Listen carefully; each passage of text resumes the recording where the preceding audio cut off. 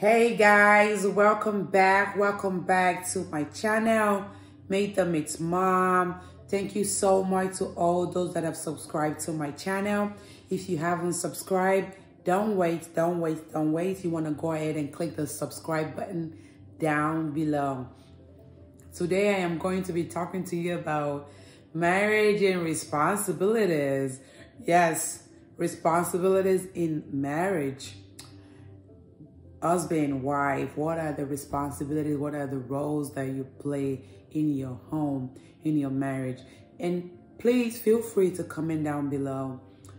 Feel free, even if we, we can agree to disagree, that's fine. By the way, guys, yes, I'm working on my voice, but just bear with me. So let's get back to marriage and responsibilities. Yes, you know, people or most people or some people have the notion that in a marriage, men are the provider and women are supposed to take care of the home. They are in charge of the home while the men go out and provide. There's also this tradition that most of us have. I'm sure some of you have that. They believe that women are to stay at home and to work, uh, clean, cook, do all the things that pertain to the house, and the men are to go out and work and pretty much provide for the house. I don't believe in most of all this tradition. No, I don't believe it. In our home, no, we don't believe in it. That was this that was back then because now we're in a new generation so many things have changed i don't even think those traditions that have been practiced back then years and decade people still practice that up to today not everything maybe some but when it comes to the home when it comes to the responsibilities of husband and wife I don't think factoring tradition is of a value of an essence. Because to me, I don't believe in that. I don't support that. Some men have the expectation that women are to do everything in the house. Whether, especially if you're not working, even when you're working, they still have the notion, they still believe that it's a women's job. It's a man, or this is a man's job. It's a women's responsibility. To me, in my home, it's everybody's responsibilities. It's teamwork. I believe in working as a team. It's 100% effort, 100% input. It's not a 50% or 50%. It's not you are in charge of this, I am in charge of this. It's working collectively as a whole. That's why they say in marriage, two shall become one. It's teamwork okay? Balancing the time. It's about you guys finding what works for you and what don't work. It's finding what your husband or your wife is good at doing or vice versa. It's finding each other's strength and weaknesses. If I tell you yes, me and my husband, we work collectively. I know how to cook. My husband know how to cook. I know how to clean. He knows how to clean. He wash dishes. He cooks. He cleans. We do everything as a whole. Because even if your wife is not working or your husband is not working, you still have to work as a team. Because one thing you don't want to do is put in all the load on one person. Just because she's a stay-at-home mom, don't mean she has all the time. Especially when you have the kids involved. The kid alone is a 24 hour job, constantly working 24 hours, meaning through the night. So the notion that you believe that your wife or your husband still have the time to clean, to cook, to wash, house, bathroom, whatever it may be. Don't do that. Because what you're doing, you're putting a lot of load, a lot of burden on one person that at one point is gonna you don't want the person to collapse. You know what I mean?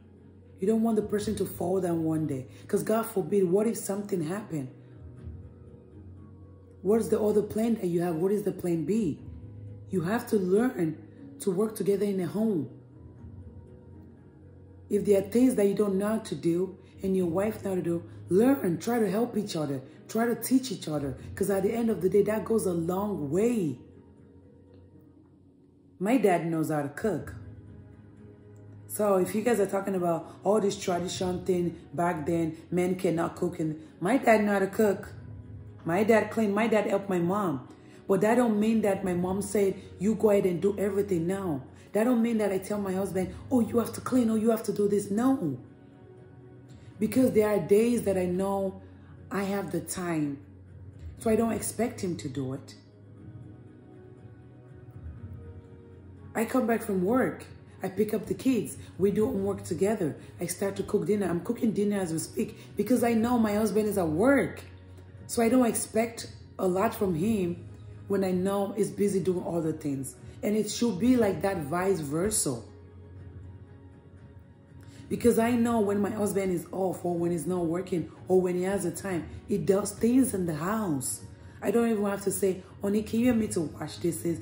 Dishes? Sometimes if I have to, maybe because I'm so tired. And yes, life is already stressful on its own. so don't put a lot of burden on one person. You guys, you have to work as a team. Try to help each other out. It's about balancing the time. Because working as a team, what happens is you're both to have time to rest, time to relax, try to time to have fun with your family, with your kids. But one one person have all the responsibility of all the jobs. They get tired and you wonder why they don't have time to do all the things. I always like to tell people, especially if you're just new to the marriage or you're about to get married, get married, don't start what you cannot continue. You don't want to do that. And what do I mean by that? It's like, okay, you know, when some people get married, they have the notion of cooking different meals every day for your husband or husband cooking different meals every day for your wife. Because you know what? The moment you start that, they're going to expect that throughout the whole marriage.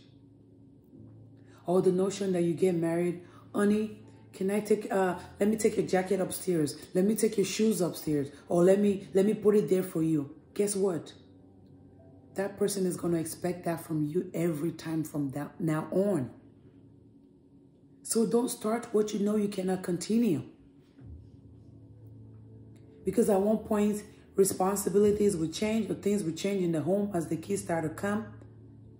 And then that person is still expecting you to continue doing that.